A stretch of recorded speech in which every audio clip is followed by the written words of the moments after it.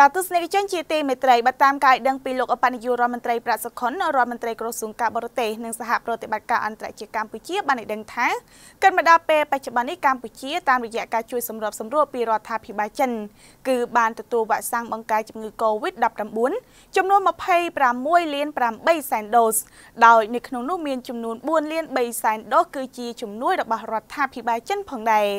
ការជួយរបស់រដ្ឋាភិបាលចិនក្នុងការផ្គត់ផ្គង់វ៉ាក់សាំងជូនដល់ប្រទេសកម្ពុជានៅពេលនេះបានធ្វើឲ្យកម្ពុជាក្លាយទៅជាប្រទេសដែលបានចាក់វ៉ាក់សាំងបង្ការជំងឺ Covid-19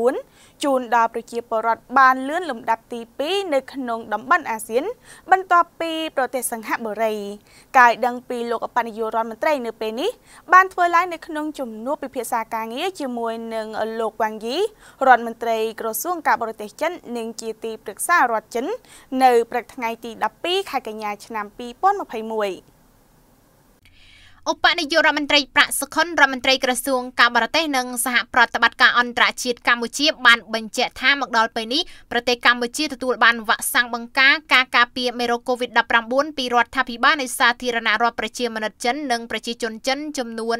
26លាន8សែនដូសហើយការថ្លែងបែបនេះរបស់លោកប្រាក់សុខុនបានធ្វើឡើងនៅក្នុងជំនួបជាមួយនឹងលោកវ៉ាងយីទីប្រឹក្សារដ្ឋនិងជារដ្ឋមន្ត្រីក្រសួងការបរទេសចិននារសៀលថ្ងៃទី12ខែកញ្ញាឆ្នាំ2 2021នៅទីស្តីការក្រសួងការបរទេសនិងសហប្រតិបត្តិការអន្តរជាតិលោកវ៉ាងយីទីប្រឹក្សារដ្ឋនិងជារដ្ឋមន្ត្រីក្រសួងការបរទេសចិនបំពេញទស្សនកិច្ចផ្លូវការនៅក្នុងប្រទេសកម្ពុជារយៈពេល2ថ្ងៃគឺចាប់ពីថ្ងៃទី12ដល់ថ្ងៃទី13ខែកញ្ញាឆ្នាំ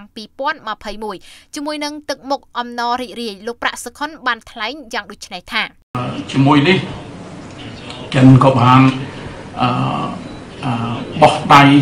ជួយទៅដល់ប្រទេសនានាលើលោកដែលត្រូវការទាំងសម្ភារៈពេទ្យទាំងវ៉ាក់សាំងសម្រាប់ជំនះនៅជំងឺ Covid-19 នេះដែរហើយខ្ញុំក៏បានឆ្លៀតយកឱកាសនេះដើម្បីអរគុណរដ្ឋាភិបាលចិននិងប្រជាជនចិនចំពោះ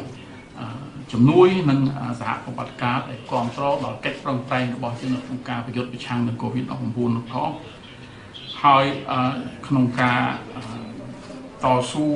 និងងើបឡើងវិញខាងផ្នែកសង្គមសេដ្ឋកិច្ចពីផលវិបាកប៉ះពាល់ដោយសារ COVID-19 នេះហើយជាឧទាហរណ៍មួយនៃសាមគ្គីភាពដែលចិនបានបង្ហាញចំពោះកម្ពុជាយើងគឺមកដល់ម៉ោងនេះគឺយើងបានទទួលវ៉ាក់សាំងចំនួន26លាន8សែន ពីប្រទេសចិនដែលក្នុងនោះមានជំនួយឧបត្ថម្ភ4លាន3សែនហើយបន្តិចទៀតនេះឯកឧត្តមវ៉ាងអ៊ីគាត់នឹងប្រកាសផងដែរថាចិននឹងជួយវ៉ាក់សាំងដល់កម្ពុជានឹងចំនួន3លានដូសថែមទៀតហើយខ្ញុំសូមជម្រាបជូនថាគ្មានប្រទេសណាទេដែលនៅលើโลกបានជួយកម្ពុជាដោយការដែលចិនជួយយើងនេះ ជាមួយគ្នានោះផងដែរប្រមុខការទូតចិនលោកវ៉ាងយីក៏បានបញ្ជាក់បន្ថែមថានៅពេលខាងមុខរដ្ឋាភិបាលចិននឹងផ្ដល់ជំនួយវ៉ាក់សាំងបង្ការការការពារមេរោគ COVID-19 ចំនួន3លានដូសបន្ថែមទៀតទៅដល់រាជរដ្ឋាភិបាលកម្ពុជាកម្មវិធីនេះឧបត្ថម្ភដោយ Food Panda Food Panda ដឹកជញ្ជូនលើសពីអាហារ